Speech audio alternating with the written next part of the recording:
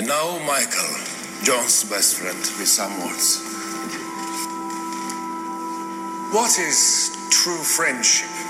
It is a bond between two men. John. John. Traveling around the world together. Spending wonderful times with one another. Discovering exciting scents and tastes. Fullest.